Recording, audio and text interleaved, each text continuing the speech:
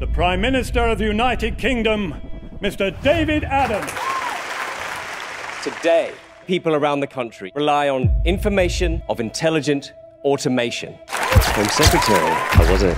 Not a bad speech, David. Daddy, I'm tired. I just want to go home. I'll take her home if you like. It's on my way, and I'm sure Sarah won't mind. The car's fully tracked, so we will know where they are at all times.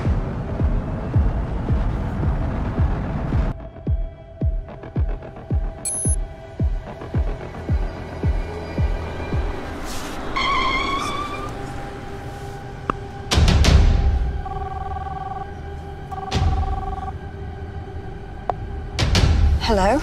Stella, you need to listen to me very carefully. As you may have noticed, your car is not as responsive as it should be. Because now, I'm driving it. Who's this?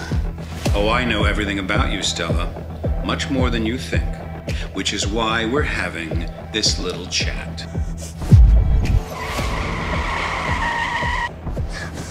Do you need me to demonstrate further?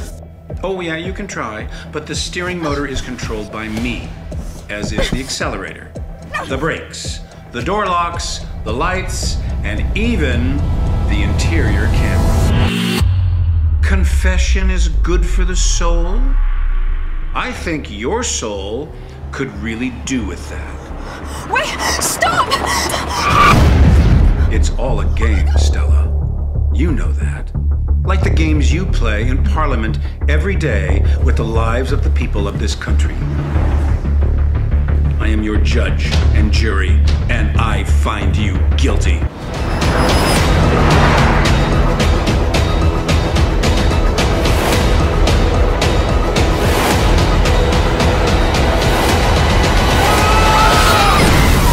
Games you play with people's lives.